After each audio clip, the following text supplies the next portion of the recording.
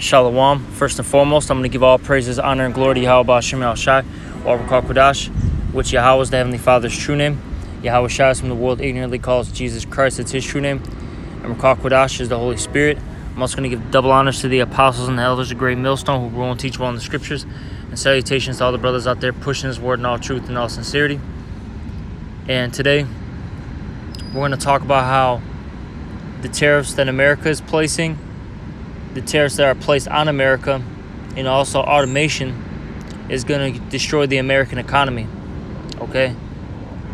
Uh, these things are going to um, simultaneously you know, help destroy this kingdom. Okay. And yeah, I got a few articles that I want to get into. But first, I want to start off with this scripture here in Isaiah 19 and 15, which it reads Neither shall there be any work for Egypt, which the head or tail, branch or rush may do. Now, America is spiritually known as Egypt. And you can read that in, um, I believe that's uh, um, Revelation, the uh, uh, 11th chapter okay? The eighth verse. All right? Which, you know what? We'll just get it, you know, for edification's sake. All right?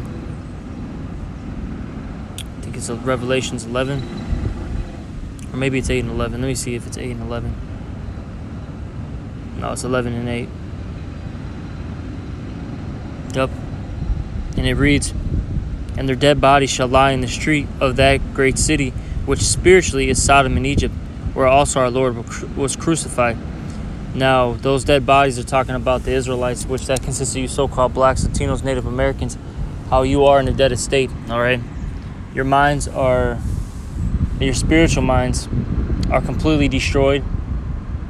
And, you know, two-thirds of the of our people are going to be destroyed here, all right? And that's because they're not, you know, going to be uh, um, awakened, all right, to this truth, okay? and how it says there, which is spiritually called Sodom in Egypt. And this place is known for homosexuality, such as Sodom, all right, bestiality, all right, and slavery, okay. And that's why this place is known as uh, uh, spiritually Sodom in Egypt. All right, now going back to Isaiah 19 and 15, it says, Neither shall there be any work for Egypt. Okay, I mean, we're about to see that. We're about to see how America is not going to receive any more work, okay? Or how these Americans, they're going to, um, they're going to really start feeling the effects of all these things, okay? As of now, you know, everyone's in a, you know, for the most part, in a calm, cool, collective state of mind, all right? Everything is business as usual, all right? There's not too much going on in their daily lives. You know, yes, you know, bills are getting a little bit higher. Yes, you know, people are you know, cutting back on certain things, but all in all, they still have a job. They're able to go, you know, eat, you know, when they need to go eat, you know, whether it be at a restaurant or whether it be um, them getting food at the grocery store. You know, they're able to do that still. There's going to be a time, you know, that's coming very soon where no one's going to have work, you know, and that's going to uh, cause, you know, mass chaos, you know, mass um, uh, uh, um, insurrection, all right? All over the place. And when that happens, that's going to lead the, uh, the U.S. government to declare martial law. And when that happens, you know, people are going to get rounded up and they're going to be taken into these concentration camps, okay? And there, a lot of people are going to die, all right? Because these concentration camps, these FEMA camps, are for your benefit. Okay? Now, going into these articles, all right, we're going to get this one from C, uh, CBSNews.com, and it says, Here's how much more your shoes and sneakers could cost under new Trump tariffs. Now, this is just one of uh, many goods that are affected, okay? And this is um, an article that was posted on uh, May 21st, 2019. Now, it says more than 170 shoe companies and retailers, including Nike and Foot Locker and Under Armour, warned President Trump his uh, proposed China tariffs would be catastrophic, and it's going to be catastrophic. Okay, it really is. All right, and this, and like I said, this is just one industry. We're not talking about all the other industries included. Okay, It's all these tariffs are going to do is just affect the U.S. economy, all right, in a negative way, and also worldwide as well, all right, because everything's interconnected, all right, with America, because th- this is a um, a global economy, as they state, all right, with America being the forefront, and with America being the forefront, all right, if this place is affected, the whole world is going to get affected, all right especially because this place is a consumer society. If America's not consuming, that means these other places aren't going to, um, they're not going to uh, uh, uh be prosperous, all right? Because their goods aren't going to be uh, bought anymore. Okay, I'm going to keep reading. The footwear distributors of America estimate the new tariffs could cost U.S. consumers seven billion a year. All right. Now I'm to read just some of these um, numbers here.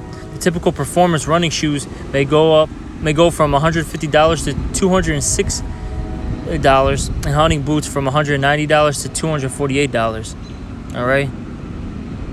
I'm going to keep going down. It says um basketball sneakers $130 to 178 skate shoes uh, basically $50 to $65 hunting boots 190 to 248 working uh, boots 140 to 165 all right firefighter boots 350 to 430 okay? And then these are huge increases. We're not talking about five dollars okay? You know even ten dollars. We're talking about uh, fifty dollars here. Almost a hundred dollars of an increase in certain shoes okay? That's a lot of money people are really gonna feel these things okay it says um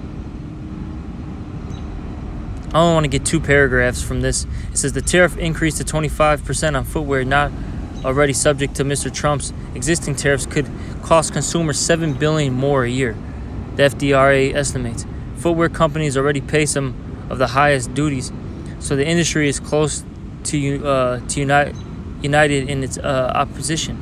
This significant tax increase in the form of tariffs would impact every type of shoe in every single segment of our society and FDR, uh, FDRA letter signed by 170 companies said, adding that the tariffs would ask the American consumer to foot the bill. Okay, because that's right. Who's going to pay for everything? It's not the companies. Because look, these companies they, they don't care about the common or these you know uh, CEOs to the you know the top of the top of the food chain. All right, it's you commoners. You're gonna feel it. You're gonna feel it you're you're the ones who are basically gonna have to pay the tab, all right? So with this happening, all right, what's gonna happen? People are gonna cut back on their sp- uh, spending, which that's gonna create job losses. All right, simple as that. All right. Now you have that going on. Also with this automation, all right, picking up, which automation is basically these robots taking uh, jobs. Okay because they're going to be performing the services that people once were doing, all right? Such as this self driving trucks begin mail deliveries test for U.S. Postal Service. Now, I'm not going to get into this article, but it, it's just showing you that you have these uh, uh um, drivers, okay? They're going to be out of uh, a job soon, all right? All right, your Uber drivers, your Lyft drivers, to your uh, um, U.S. Postal Service all right, uh, uh, uh, uh, delivery drivers, okay, to your Amazon workers, to, to, to UPS, uh, um, so on and so forth, okay? You're gonna have robots doing these jobs. Then you got robots that are already working at like the McDonald's and certain other fast food chains, and they're taking jobs. So you people are really gonna start feeling this, man, okay? You people are really going to feel it soon. All right?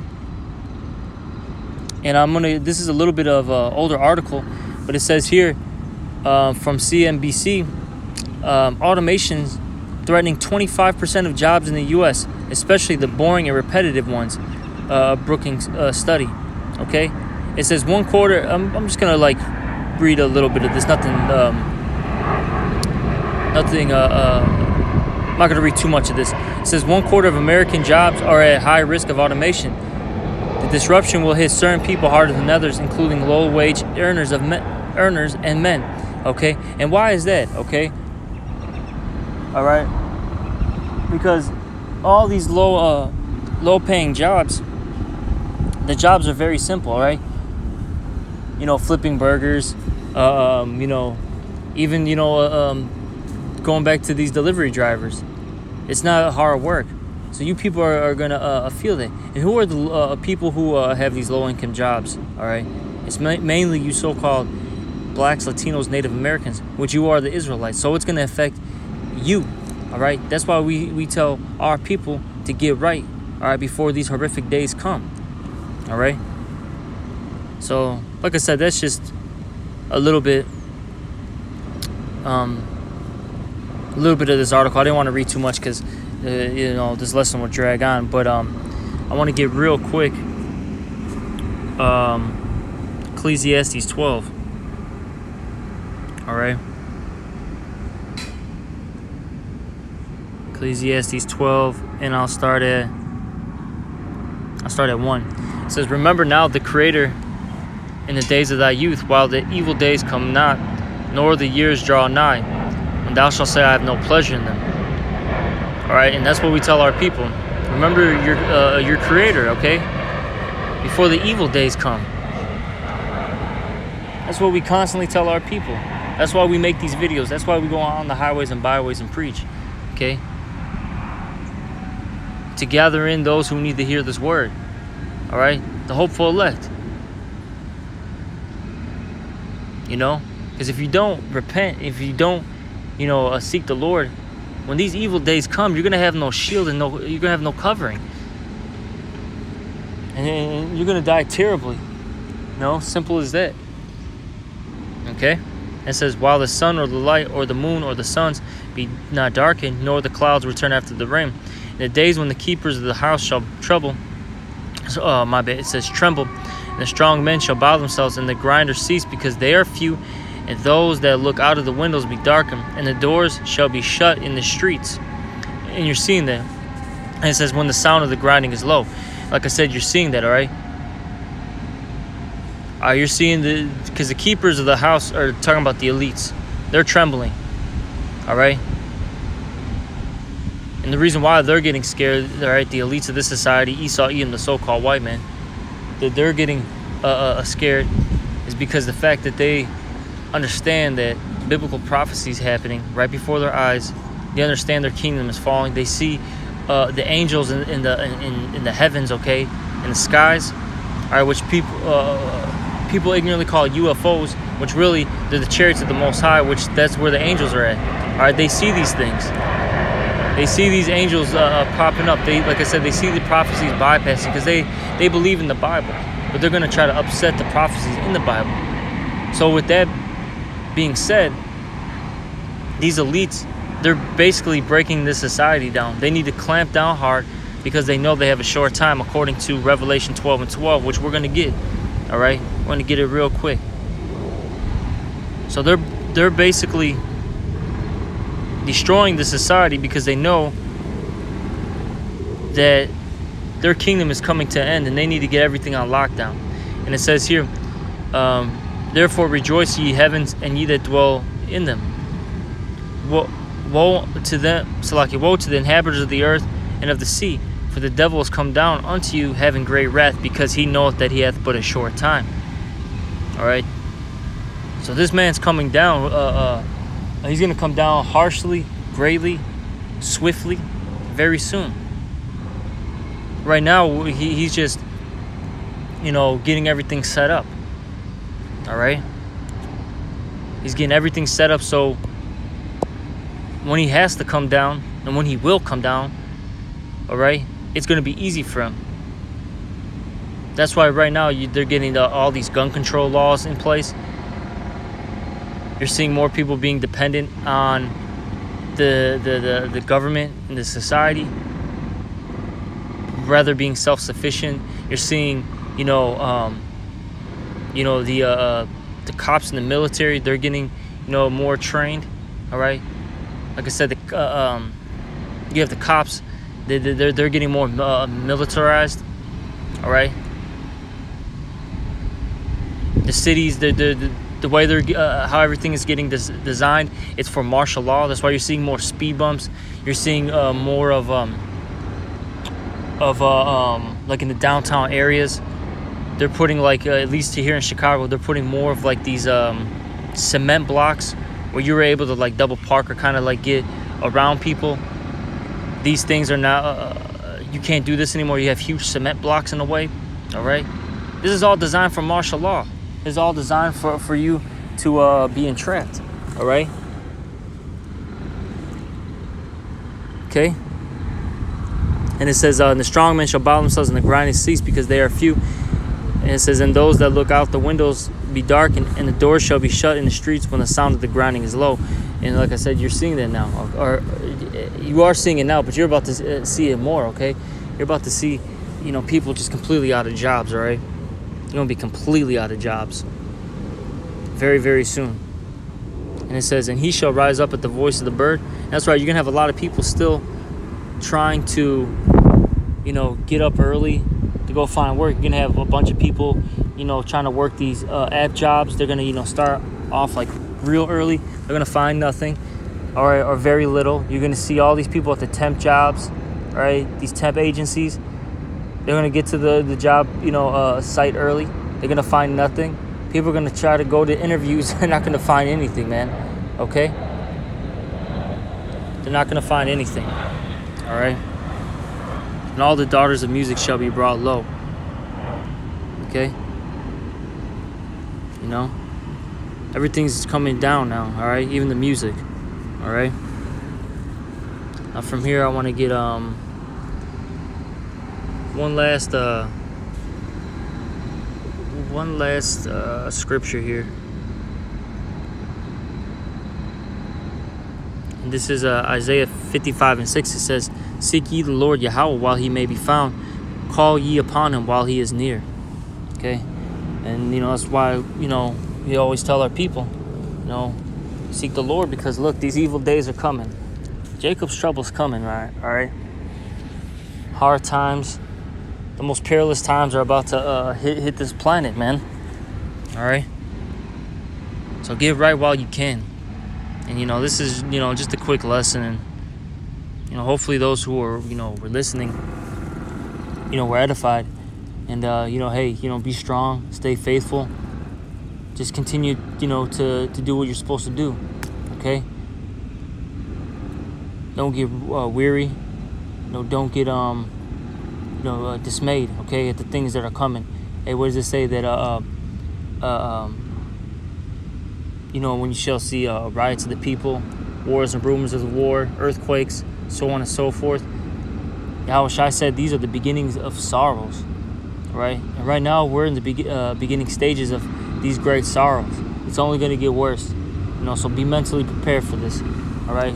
Spiritually prepared. And with that, I'm gonna give all praises, honor, and glory to Yahweh Shai. Double honors to the apostles and elders, great millstone, and salutations to you brothers.